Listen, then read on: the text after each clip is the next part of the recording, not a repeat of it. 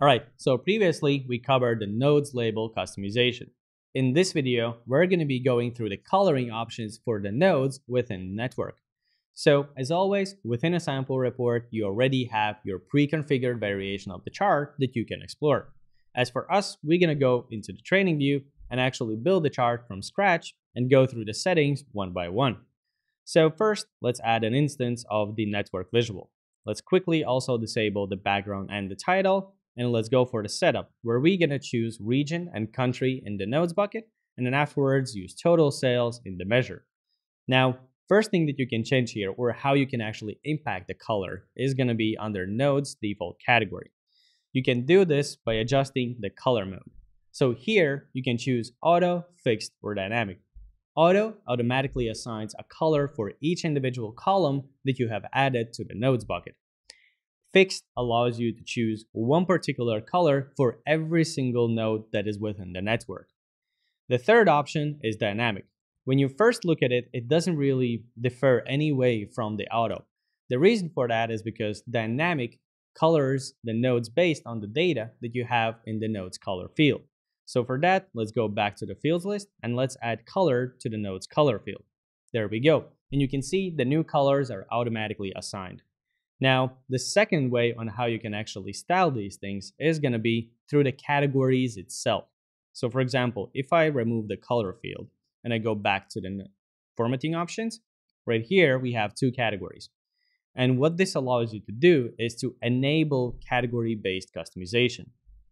Once you do that, you can effectively, for example, color different categories by different modes. So what I'm going to do here is going to, for the first category, I'm going to choose the color mode to actually be fixed. And I'm going to manually change the color to, let's say, the purple one.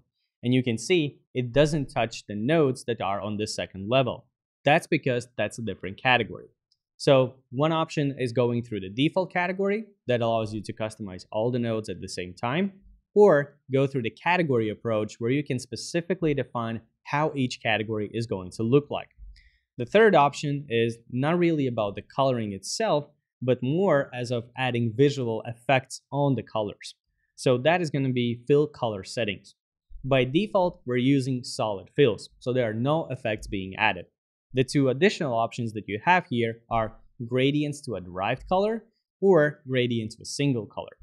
If you choose gradient to a derived color, you have your slice outer opacity, so you can define how bright the color is going to be going outwards.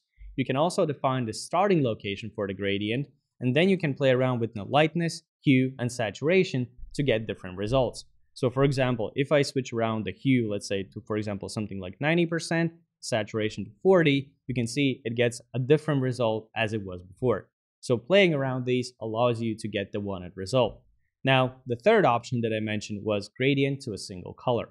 The difference between the two are that for the color, you have an option of choosing just a single color and then only playing around with the opacity and location.